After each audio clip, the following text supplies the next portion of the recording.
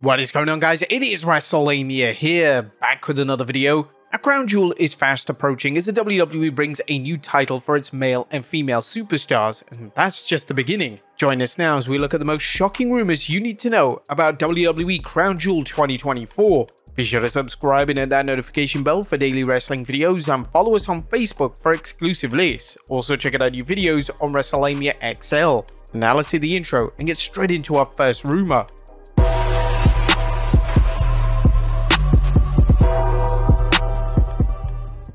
Now, first rumor looks at WWE calling in more superstars than usual. Now, this year's trip to Saudi Arabia will actually see a larger than usual number of superstars. Now, the WWE isn't booking another 50 superstar greatest Royal Rumble, uh, you probably can be sure they would do this in an instant if the Sports Authority asked for it. Instead, the WWE is taping an episode of Raw on Sunday, another example of how the WWE is linking its weekly television shows with PLEs, and you can be sure the WWE is getting paid extra for Saudi Arabia hosting Raw.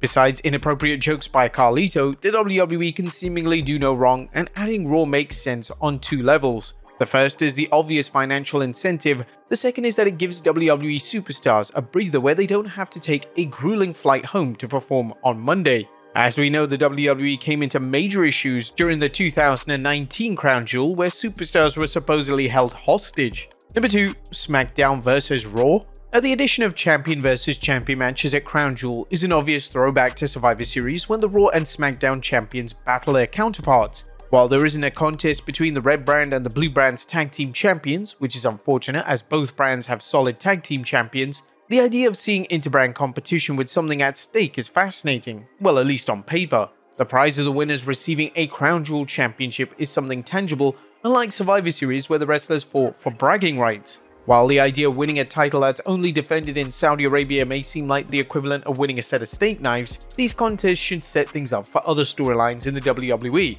First, the WWE can book its world champions in matches that are unlikely to happen for some time due to the brand split, primarily Cody vs Gunther, as it's unknown how much people are invested in long-term feuds between Nia Jax and Liv Morgan, or Nia Jax and anyone else for that matter. The WWE can give Gunther or Cody a win, setting things up when they clash down the road, presumably over a title. There's also the likelihood the WWE will use the Crown Jewel Championship matches to develop other storylines.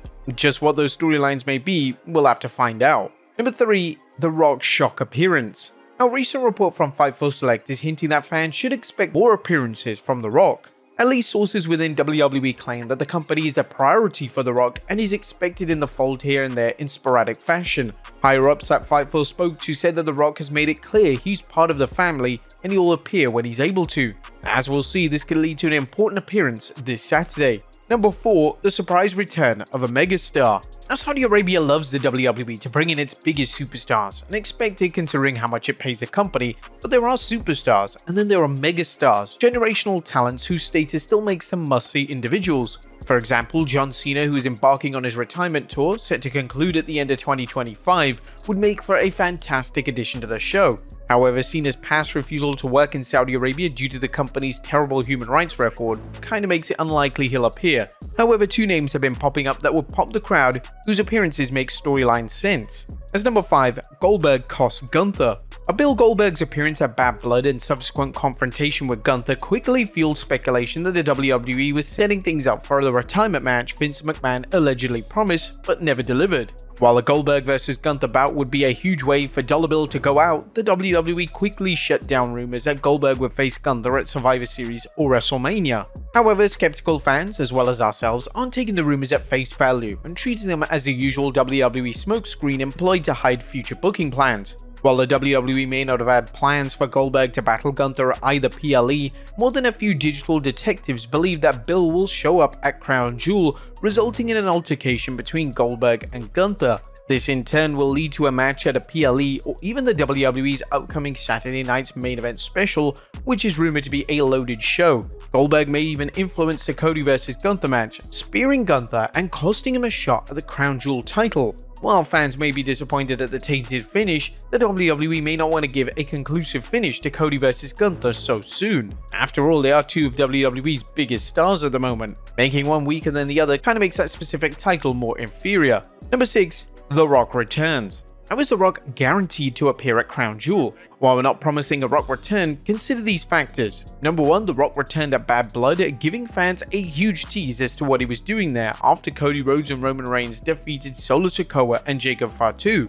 Number 2, Survivor Series follows Crown Jewel at the end of the month. And number 3, the WWE wants to spark the build for WrestleMania 41, which could feature the final boss battling Cody Rhodes and Roman Reigns. Let's break down these three factors. The Rock will likely appear to explain why he's back, possibly revealing whose side he's on, that is Solo or Roman's, and this could lead to the second factor, Survivor Series and a War Games between Roman's team and Solo Sikoa's team. Could The Rock wrestle in this match, and if so, on whose side? Crown Jewel could shed light on this or give fans a reason to tune in to the following Friday SmackDown, or one or both of the first two factors will provide the catalyst for the WrestleMania triple threat. Add in a rare appearance by the Great One in Saudi Arabia, and you have many reasons to expect The Rock this Saturday. Number 7. 2 one and dones. A crown jewel has high stakes matches from the bottom to the top, whether it's feuds or title matches. Two matches to keep an eye on are Bronson Reed vs Seth Rollins and Kevin Owens vs Randy Orton.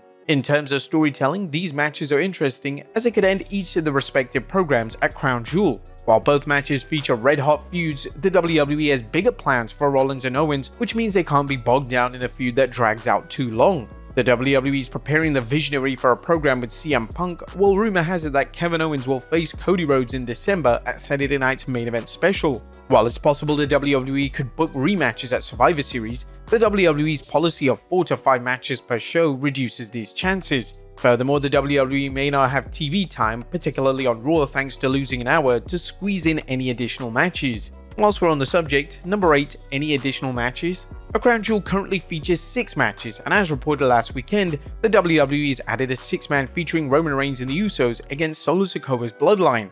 As a result, don't expect to see any additional matches on Saturday. Number 9, more Bloodline debuts. A Saturday's match between Roman Reigns and the Usos of Jey and Jimmy versus Solo Sikoa's Bloodline, just which three members will compete remains unknown, is another important chapter in the seemingly endless Bloodline storyline, and one to that the WWE's credit is continuing to squeeze life from it. There are two major questions going into the match. How will it set things up for a War Games match between the two factions, and whether a new Bloodline member will appear?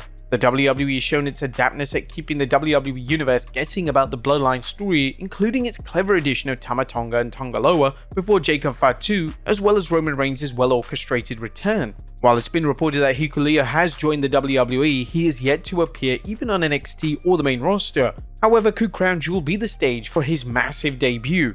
Uh, with rumors that Zilla Fatu could also join the WWE, fans have to wonder if Fatu could show up Saturday. Fans are already curious about which side he'll take if he joins the WWE, especially since Roman and the Usos are already outnumbered 3 to 4, although some fans suspect Sami Zayn could join Roman and company and any other returns. Now as always fans will be watching Crown Jewel for any surprise returns. Names like Alexa Bliss and Charlotte Flair come to mind, while the official story is that they're not expected back until late or early 2025, fans know to expect the unexpected. While nothing suggests a program for either superstar, at least based on the card, they could make an appearance for no other reason than to pop the crowd and tease the fans for their eventual return. But there you have it folks, the most shocking rumors you need to know about Crown Jewel 2024. Be sure to leave your comments down below, and I'll see you next time with some more wrestling content.